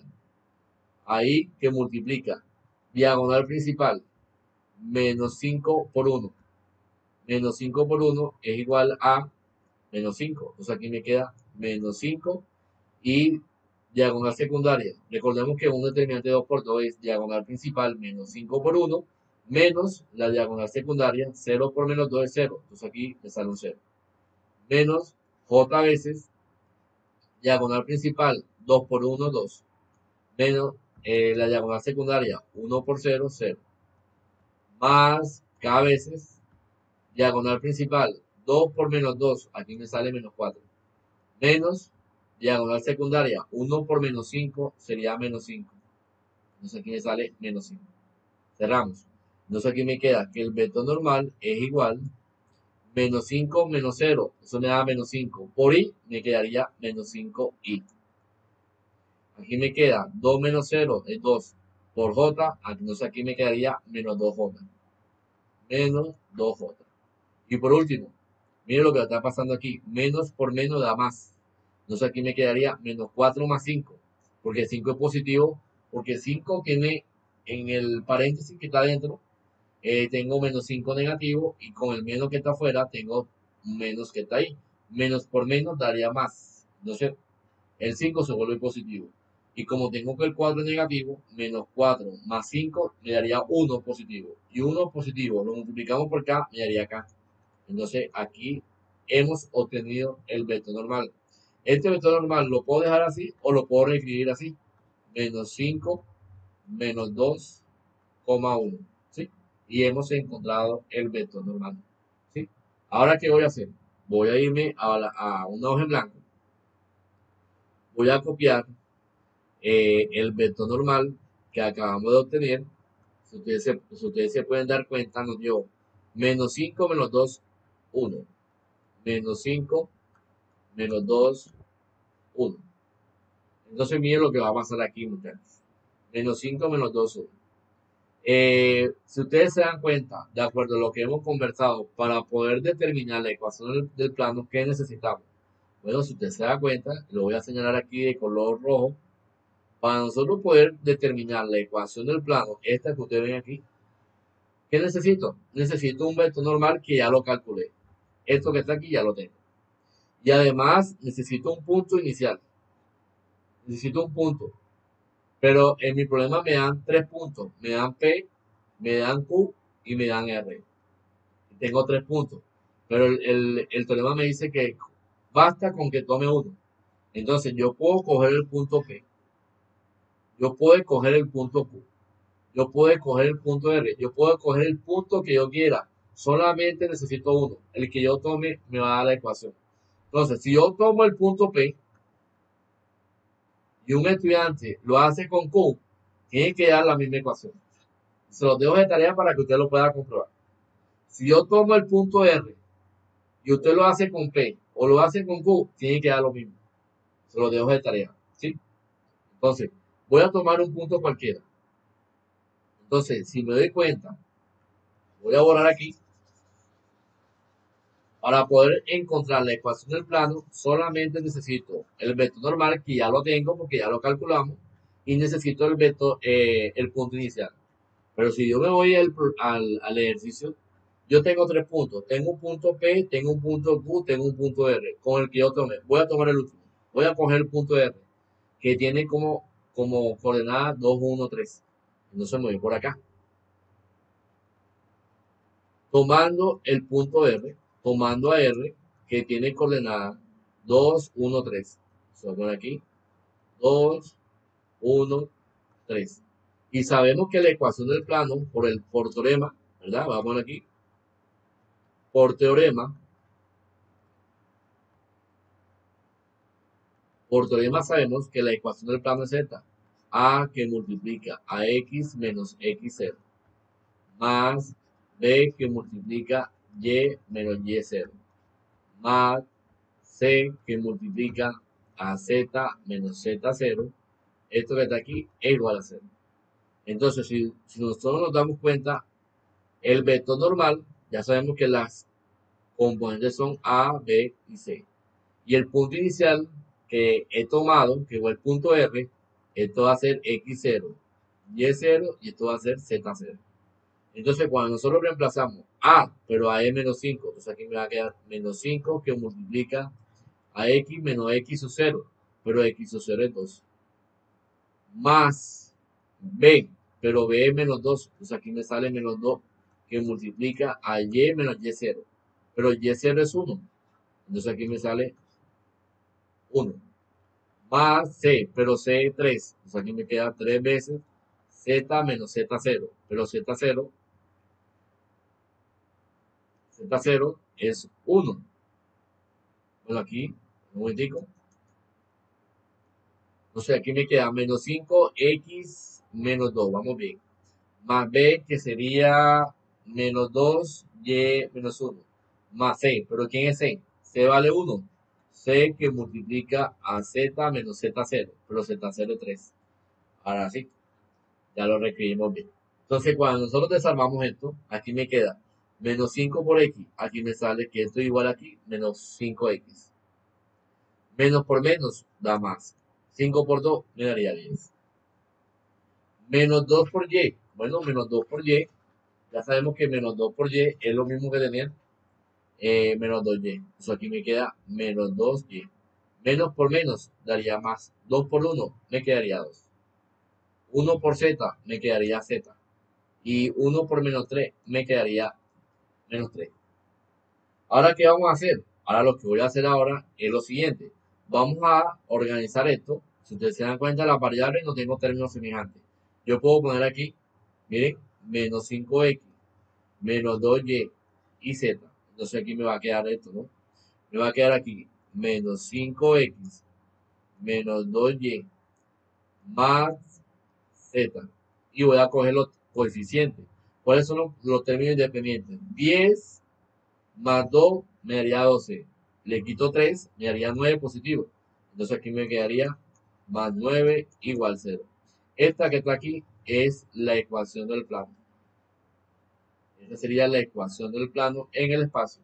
Lo puedo dejar así o puedo multiplicar eso por menos 1 y esto que está aquí lo puedo escribir como 5x más 2y menos z menos 9 igual a 0. ¿sí? Si lo multiplicamos por menos 1, los signos de cada uno de los términos que aparecen en la ecuación del plano van a cambiar. Entonces me quedaría 5x más 2y menos z menos 9 igual 0. Esa sería la ecuación del plano. Entonces es muy importante que nosotros sepamos que para cuando a mí no me dan el vector normal y me dan tres puntos, para poder encontrar el vector normal, vamos a sacarlo eh, cuando nosotros eh, vamos a determinar el vector normal cuando eh, en el plano estipulamos un punto, y, un punto referencial y a partir de ahí vamos a dibujar cuáles van a ser los segmentos dirigidos. Y como le dije yo inicialmente, el segmento dirigido lo he calculado de esa forma, ¿no? Tomando como punto inicial el punto P. Y a partir del punto P, cogí por acá Q y por aquí cogí R. O, o un estudiante puede poner aquí R y por acá puede poner A, a Q, también es válido. Hay muchas maneras de resolver el ejercicio. Y la manera como yo distribuya los segmentos dirigidos es irrelevante. Usted puede coger como punto referencial a Q y a partir de ahí busque a P y busque a R. O usted puede coger a R como punto referencial y a partir del punto R usted proyecte a P, eh, proyecte a P y proyecte a Q. Y le van a salir también ahí segmentos dirigidos. Y ya sabe que al final, al final, dependiendo del punto referencial que usted tome, usted va a tener su segmento dirigido. Y a partir de esos segmentos dirigidos, podemos encontrar el vector normal si hacemos el producto vectorial de las componentes de, la, de las coordenadas de esos segmentos dirigidos.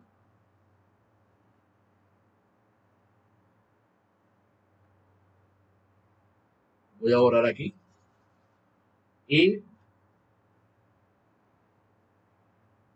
vamos a hacer lo siguiente.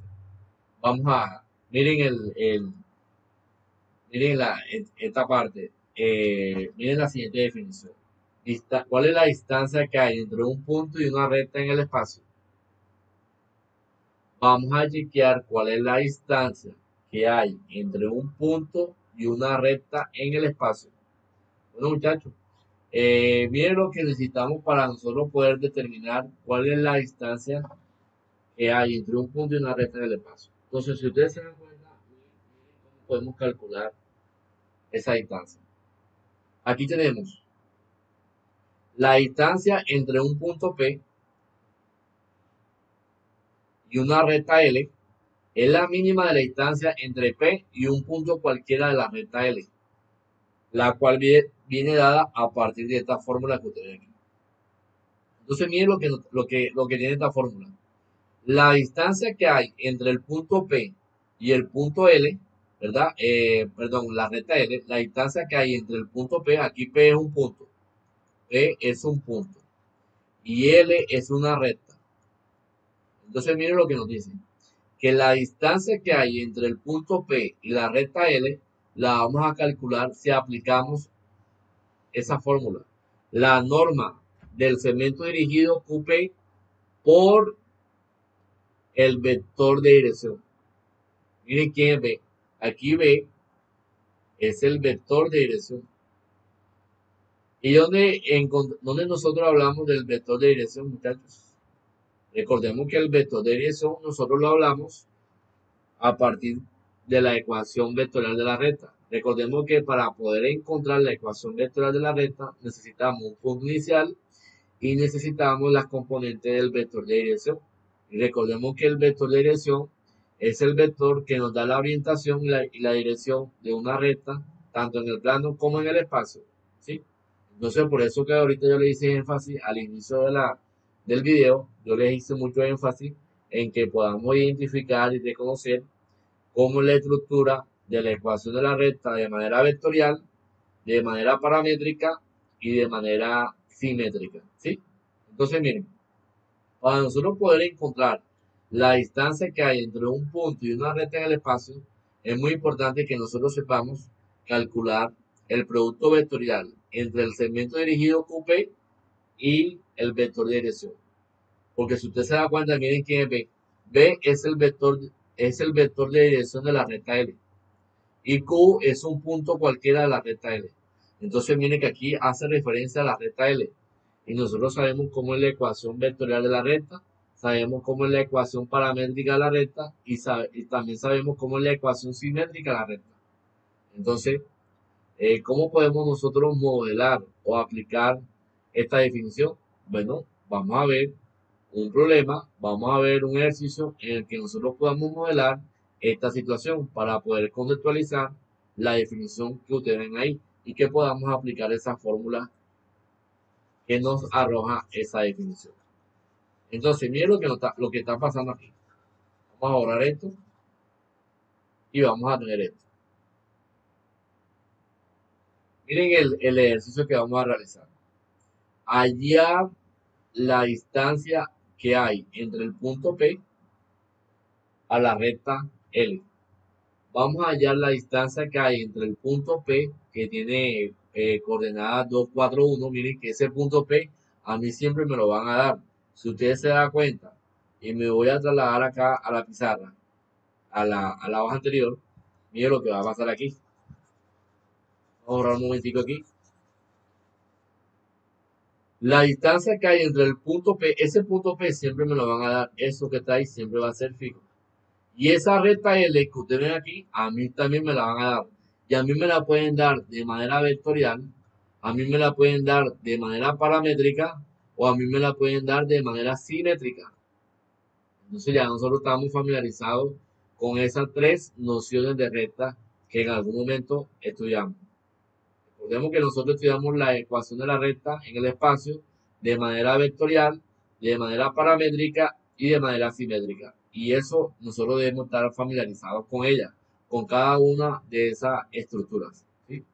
Entonces, a mí me van a dar la recta, ya sea de forma vectorial, ya sea de manera simétrica o sea de manera paramétrica.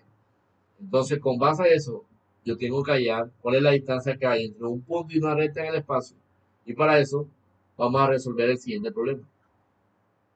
Miren que a mí me dan el punto P. Y me dan la recta L. Si ustedes se dan cuenta, a mí me dan una recta L. Esa recta L que ustedes ven allí, me la dan de forma paramétrica. Si ustedes se dan cuenta, esa recta L en el primer ejercicio me la dan de forma paramétrica. El segundo ejercicio también me la dan de forma paramétrica. El tercero me la dan de manera simétrica. Y el cuarto también me lo dan de manera simétrica. Entonces, a partir de esa recta L, yo tengo que hallar el, yo tengo que hallar el vector de dirección y tengo que hallar el punto Q que vive en esa recta. ¿Cuál es el punto Q que vive en esa recta? ¿Y cuál es el vector de dirección? Bueno, miren quiénes van a hacer. Voy a borrar aquí. Voy a llevar el primer ejercicio, vamos a trasladar acá a la pizarra y miren lo que voy a hacer. Sería nuestro ejercicio número ¿qué? Número 5. Eso voy a poner aquí ejercicio número 5. Entonces, en el ejercicio número 5, a mí me dan el punto. Me dan un punto P, me dan un punto P que tiene coordenada 2, 4, 1. El punto P tiene coordenada 2, 4, 1. Y me dan una recta L, pero miren cómo está estipulada la recta L. La recta L, miren cómo está escrita. La voy a poner aquí. Está escrita X es igual a 2 más T x es igual a 2 más t. y es igual 3 más 2t. 3 más 2t. Y z es igual a menos 1 más t. z es igual a menos 1 más t. z es igual a menos 1 más t. Entonces, teniendo en cuenta esto, miren lo que podemos realizar aquí. Ese sería la recta L. Miren cómo está escrita. Ahora, si nosotros nos damos cuenta, vamos, vamos un poquito más atrás cuando veníamos estudiando la ecuación vectorial de la recta. Recordemos que la ecuación vectorial de la recta nosotros la podemos escribir así, ¿no? X, Y, Z es igual a X0, Y0, Z0 más T veces el vector de dirección B1, B2, de 3. Recordemos que esto es lo que nosotros conocemos como la ecuación vectorial de la recta en el espacio. Cuando yo tengo la ecuación vectorial, yo la puedo reescribir de forma paramétrica. Y cuando la reescribimos de manera paramétrica, salen este conjunto de ecuaciones. Por ejemplo, x es igual a x0 más t veces el, la primera componente del vector de dirección.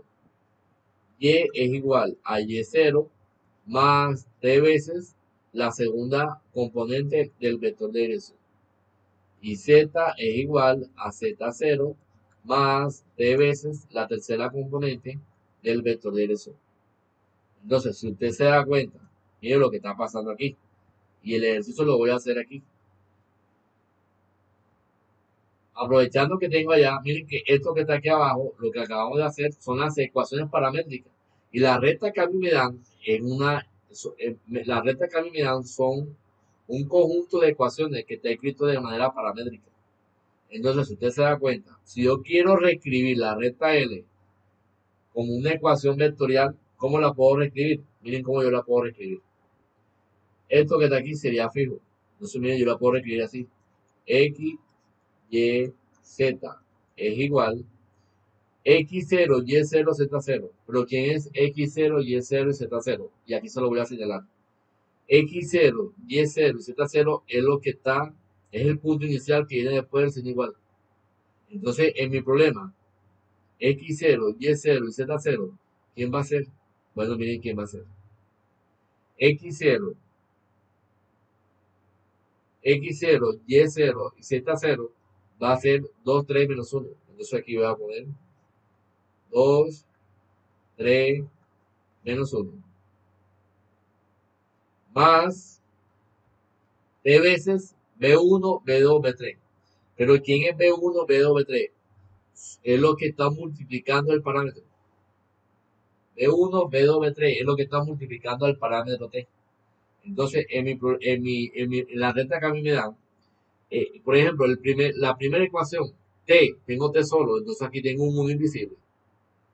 2t y en la tercera ecuación aquí tengo 1 invisible. Eso quiere decir que el vector de dirección es 1, 2, 1.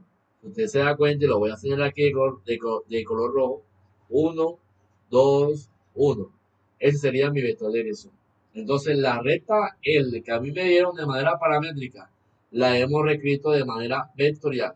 Eso es lo que conocemos como la ecuación vectorial de la recta L de la recta L. ¿sí? Vamos a poner aquí ecuación vectorial de L. ¿sí? Ahora, ¿esto qué? ¿Para qué me va a servir la ecuación vectorial? Bueno, muchachos, si ustedes se dan cuenta, nos vamos a la definición. Para poder encontrar la distancia que hay entre un punto y una recta en el espacio, yo necesito saber quién es el vector de dirección, que ya lo encontramos. Y necesito saber quién es Q, y Q es un punto de la recta L. Y ese punto de la recta L, miren quién va a ser. Esto que está aquí va a ser mi punto Q. Y esto que está aquí va a ser mi vector de dirección. Entonces ya hemos encontrado cuál es el punto de la recta. El punto de la recta es, el punto va a ser 2, 3, menos 1.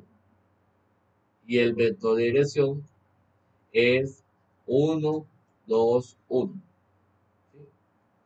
1, 2, 1. Entonces, esto era Todavía eso no lo hemos resuelto, apenas lo voy a resolver. Pero quise desglosarlo de esa forma para que ustedes vieran cómo lo podemos, eh, cómo podemos aplicar lo que hasta el momento hemos aprendido.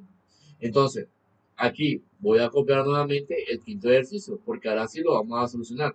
Y voy a poner aquí cuáles son, cuáles son las coordenadas del punto que me dan. El punto que me dan es 2, 4, 1. Y además me dan la recta L, que ya sabemos que yo la puedo reescribir de manera vectorial. Y voy a escribir la, la, recta L de manera vectorial. Miren, miren cómo lo, lo, cómo lo vamos a hacer. Vamos a aquí. Notemos, notemos que la recta L, que la recta L la podemos reescribir la podemos reescribir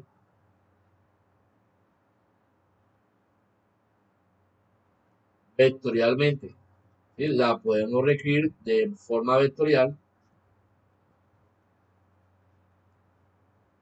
como, miren cómo la vamos a escribir, entonces me voy a la forma como la hayamos escrito. Entonces la recta L, miren, y es la, es la parte que está de color azul, aquí en la parte inferior, yo la puedo reescribir así, Entonces miren, L es igual, entonces miren cómo la voy a reescribir. X, Y, Z es igual al punto, al, punto inicial que sería 2, 3 menos 1. O por acá tenemos 2, 3 menos 1 más t veces el vector de dirección. Y el vector de dirección, las componentes son 1, 2, 1. 1, 2, 1. Y entonces hemos reescrito, si ustedes se dan cuenta, la recta L nos la dieron de forma paramétrica. Y aquí la hemos reescrito de manera vectorial. Entonces voy a coger un punto sobre la recta. Entonces miren lo que voy a hacer. Escogemos, porque necesito saber quién es Q y quién es B. Pero ya ahí ya podemos deducir quién es Q y quién, y quién, es, quién es B. Ustedes se dan cuenta, esto va a ser Q y esto va a ser B. Entonces miren lo que voy a hacer. Escogemos un punto de la recta L. Escogemos un punto de la recta de la recta L. Por ejemplo, ese punto quién va a ser? Ese punto va a ser el punto Q. Pero miren quién va a ser el punto Q. Ya sabíamos quién era Q. Q es 2, 3 menos 1. 2, 3 menos 1. Esto va a ser, esto que está aquí va a ser, para nosotros va a ser Q.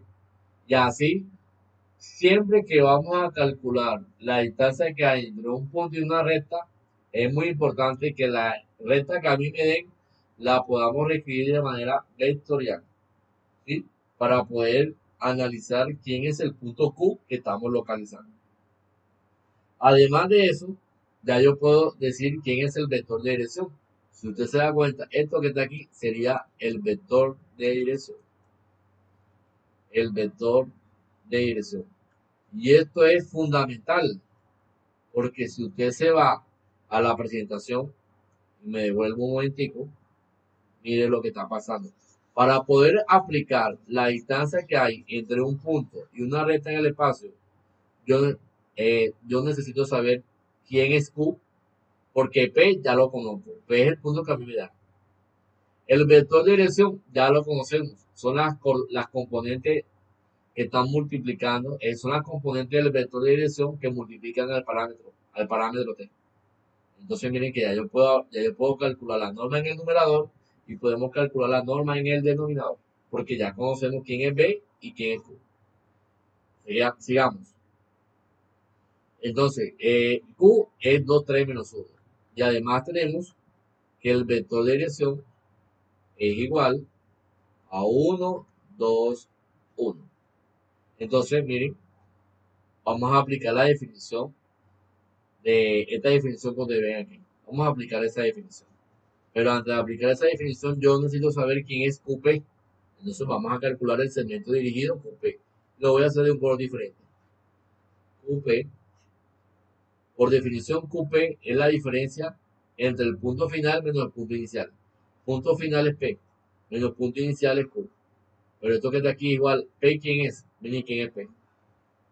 P 241. O sea que colocamos 2, 4, 1 menos el punto inicial, que es Q. Pero Q ya lo acabamos de encontrar. Recordemos que Q son las coordenadas del punto inicial que hemos tomado de la recta L. En mi caso va a ser 2, 3, menos 1. Esto que está aquí es igual a, bueno, miren, aquí me queda 2 menos 2. Aquí me queda 4 menos 3. Primera componente, 2 menos 2. Segunda componente, 4 menos 3. Y tercera componente, 1 menos menos 1. Eso quiere decir que esto que está aquí es 2 menos 2, 0. 4 menos 3, 1. Y menos por menos más y 1 más 1. Entonces aquí me queda 0, 1, 2. Eso quiere decir que las componentes del segmento dirigido QP son 0, 1, 2. ¿Qué más necesito para poder eh, aplicar esa definición? Bueno, ya no necesitamos, ahora necesitamos calcular el producto vectorial que hay entre el segmento dirigido que acabamos de calcularlo con el vector de dirección. Entonces vamos a calcular ese producto vectorial. Entonces para calcular ese producto vectorial me voy a una hoja nueva. Entonces vamos a calcular esto, ¿no? Vamos a calcular el producto vectorial entre el segmento dirigido QP con el vector de dirección. Entonces, para eso voy a colocar la información que tenemos hasta el momento. Entonces, hemos calculado las componentes del segmento dirigido QP que nos dio cuánto. Miren cuánto nos dio. 0, 1, 2. Voy a poner aquí. 0, 1, 2. Y tenemos también quién es el vector de dirección. Y la componente del vector de dirección es, miren, si ustedes se dan cuenta, es, aquí lo tengo, 1, 2, 1. Entonces aquí voy a colocar 1, 2, 1. Vamos a calcular el producto vectorial. ¿Por qué voy a calcular el producto vectorial? Por esto, ¿no? Porque el numerador está definido como la norma de ese producto vectorial. Entonces voy a calcular eh, ese vector porque recordemos que al calcular un producto vectorial, ese producto vectorial va a ser un vector en R3. Entonces, cuando yo tenga ese vector en, en R3, vamos a calcular su norma. Entonces, mire lo que nos va a dar. Vamos a calcular aquí el producto vectorial entre el segmento QP, el segmento dirigido QP, con el vector de dirección. Por definición, bueno, vamos a hacer lo mismo que hicimos ahorita. Recordemos que aquí me queda la primera fila y otra K. En la segunda fila vamos a colocar las eh, componentes del segmento dirigido, que sería 0, 1, 2. Y en la segunda, en la tercera fila vamos a colocar las, las componentes del vector de dirección. Sería 1, 2, 1. Por definición, esto es igual. Entonces vamos a hacer lo mismo que hemos hecho ahorita, ¿no? Cuando calculamos la ecuación del plano, en el caso que el vector normal no, no, no nos daban como, como datos, ¿no? Como hipótesis. Entonces, miren, aquí me va a quedar y veces un determinante 2 por 2 cuál es el determinante 2 por 2 asociado ahí? Entonces, si usted se da cuenta, si eliminamos la primera fila y la primera columna, entonces aquí me queda 1, por aquí me queda 2, por aquí me queda 2, por acá me queda 1. ¿no? Menos J veces. Entonces aquí, ¿cuál es el determinante asociado a J? Entonces, el determinante asociado a J es eliminando la primera fila la segunda columna. Entonces aquí me queda 0, 1. Y acá me queda 2, 1. Más cada veces, ¿cuál es el determinante asociado acá? Entonces, el determinante asociado acá es eliminando la primera fila y la tercera columna. Entonces aquí me queda 0, 1, 1, 2. ¿Sí, Ese sería, si eliminamos, por ejemplo, cogemos como referencia el primer elemento, tengo que eliminar la primera fila la segunda y la, la primera columna. Nada me sobrevive 1, 2, 2, 1. Ahí está. Menos J veces. Tengo que eliminar ahora la primera fila y la segunda columna. Nada me quedaría 0, 1, 2, 1. Perfecto, ahí está. Y ahora tomamos el tercer elemento, que sería el vector en la dirección K. Tengo que eliminar la, tercera, la, la primera fila tercera columna. Solamente me sobrevive 0, 1, 1, 2. Cuando nosotros hacemos esto y resolvemos este determinante, mira lo que nos va a quedar. Y veces 1 por 1, 1. Menos diagonal principal, 1 por 1. Menos diagonal secundaria, 2 por 2, 4. Me queda 4. Menos J veces. Diagonal principal, 0 por 1, 0. Menos diagonal secundaria, 2 por 1, 2. Entonces aquí me queda menos 2. Ahora, eh, cuando nosotros calculamos eh, en la dirección K, el determinante me va a quedar así. Diagonal principal, 0 por 2, eso es 0. Menos la, diagonal secundaria, 1 por 1, 1. 1. Pero es 1 negativo. Por K, entonces aquí me quedaría menos, póngalo bien, aquí me quedaría menos K. Repito nuevamente, aquí me quedaría 0 por 2, 0 menos 1 por 1, 1. 0 menos 1 es menos 1 y menos 1 por k, entonces aquí me quedaría menos k. ¿Sí? Entonces, al final de cuentas, ¿qué hemos obtenido? Hemos obtenido esto, ¿no? Que esto que está aquí es igual. 1 menos 4. 1 menos 4 es menos 3i. Menos por menos da más. 2 por j, 2j. Menos k. Entonces, ya tenemos que el producto vectorial entre el segmento dirigido QP y el vector de dirección nos dio menos 3, 2, menos 1. Ya tenemos que eso es menos 3, 2, menos 1. Ahora, si usted se da cuenta, nos vamos a la definición. Para poder encontrar la distancia que hay entre el punto P y la recta L, yo tengo que aplicar la norma de ese producto vectorial sobre la norma del vector de dirección. En pocas palabras, miren lo que nos sale aquí. Lo voy a hacer de un color verde. La distancia que hay entre el punto P y la recta L, por definición, es, bien, es la norma del segmento dirigido QP por el vector de dirección. Y esto a su vez está dividiendo sobre la norma del vector de dirección. Pero si usted se da cuenta, esto que está aquí es la norma del producto vectorial, pero ese producto vectorial que nos dio, ese producto vectorial nos dio esto, muchachos.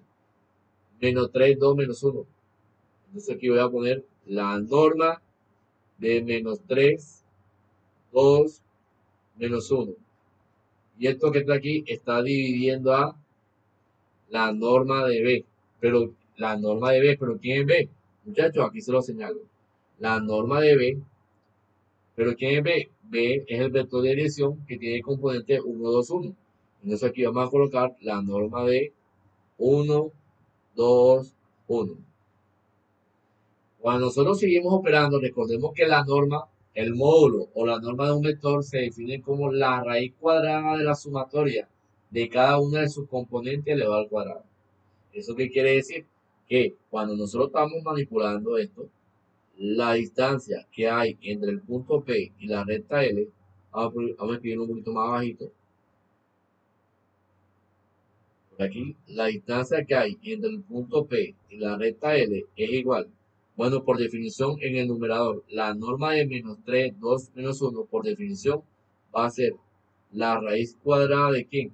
De cada una de sus componentes elevado al cuadrado. La sumatoria de cada una de sus componentes elevado al cuadrado. Entonces aquí me queda menos 3 a la 2. Más 2 a la 2. Más menos 1 elevado a la 2. Y esto a su vez está dividiendo a esto que está aquí divide a la norma de las componentes del vector de dirección. Por definición de norma, esto se define como la raíz cuadrada de quién? De cada una de sus componentes elevado al cuadrado. Entonces aquí tenemos 1 al cuadrado más 2 al cuadrado más 1 al cuadrado. Esto quiere decir que esto que está aquí es la raíz cuadrada menos 3 al cuadrado, entonces aquí me sale 9 positivo. Porque cuando la base es negativa y el exponente es par, el resultado siempre va a ser positivo. Más 2 a la 2, 4. Menos 1 a la 2, base negativa, exponente par, eso siempre va a ser positivo. Aquí me queda 1 positivo. Y esto a su vez está dividiendo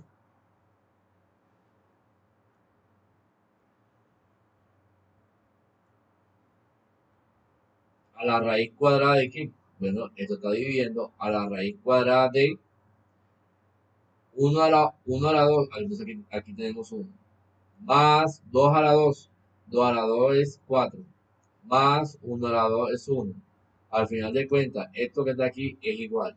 A la raíz cuadrada 9 más 4, 13, más 1, raíz cuadrada de 14. Entonces arriba me queda raíz cuadrada de 14 sobre la raíz cuadrada. 1 más 4, 5, más 1, 6, raíz cuadrada de 6. Entonces, ¿qué podemos hacer aquí? Aquí podemos hacer lo siguiente. Yo puedo racionalizar o podemos simplemente, hay una propiedad de la radicación que me permite hacer esto, ¿no? Le voy a poner aquí pequeñito. La raíz enésima de un cociente o de una fracción es igual. ¿A qué es igual? Es igual a la raíz enésima de A sobre la raíz enésima de B. Si usted se da cuenta, yo estoy aquí. Tengo una, una fracción con raíces que tienen el mismo índice. En este caso es raíz cuadrada. Yo puedo pasar de derecha o lo puedo reescribir como lo que tengo a la izquierda. Y al final de cuentas, esto que está aquí, yo lo puedo reescribir así, con una sola raíz. Raíz cuadrada de 14 sexto. Puedo simplificar. Entonces me quedaría raíz cuadrada de 7 tercios. Voy a escribirlo bien. Raíz cuadrada de 7 tercios. Y esto, cuando usted resuelve 7 tercios y le sacamos raíz, entonces esto que está aquí, vamos aquí, es aproximadamente 1.52. Entonces, eso quiere decir que la distancia que hay entre el punto P y la recta L es aproximadamente de 1.52. Yo aquí apliqué esa propiedad, pero un estudiante también puede hacer esto, ¿no? Voy a coger donde, donde, a donde, donde quedamos, ¿no? Raíz de 14 sobre raíz de 6. Yo, yo hice esto aplicando la propiedad que está de cloruro, pero un estudiante puede, también puede hacer esto, es, es válido. Usted, después que usted aplique procedimientos adecuados, lógicos, no haber ningún problema. Si nosotros llegamos, raíz de 14 sobre raíz cuadrada de 6, yo hice esto, ¿no? Esto que está aquí, por una de las propiedades, lo metimos en una sola raíz. Al final de cuentas, eso es lo mismo de tener raíz de 7 tercios.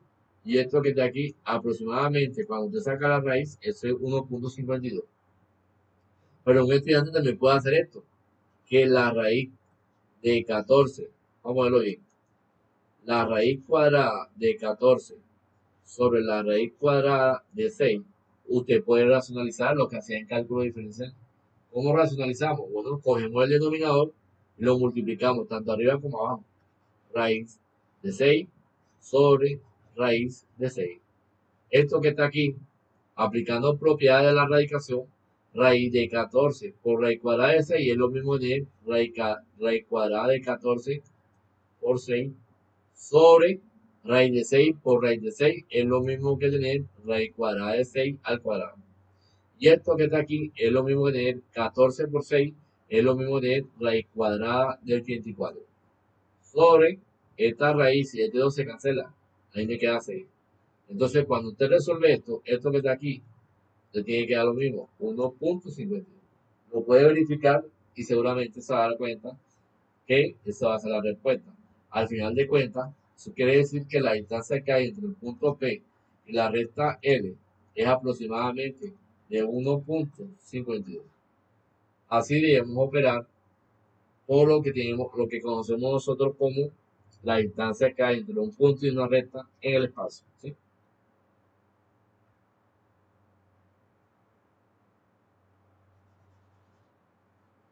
Ahora, eh, aquí finaliza lo que es la parte, toda la parte del, del álgebra vectorial, que en algún momento nosotros empezamos cuando estábamos estudiando eh, producto punto y producto vectorial, vectores ortogonales, vectores normales, eh, ecuación del plano. Aquí finalizaría esa parte del álgebra vectorial. Ahora, en el próximo video vamos a estudiar un poco acerca de las funciones con valores vectoriales. Entonces vamos a ver que es una función vectorial, vamos a ver cómo podemos determinar el dominio de una función vectorial, cómo podemos encontrar el límite de una función vectorial, vamos a ver cómo podemos encontrar la derivada de una función vectorial. Entonces eso es lo que viene a continuación. Entonces eh, en el próximo video vamos a, a finiquitar y a estudiar toda la temática que tiene que ver con el estudio de las funciones con valores vectoriales. Entonces, nos vemos ahora en, en el segundo video.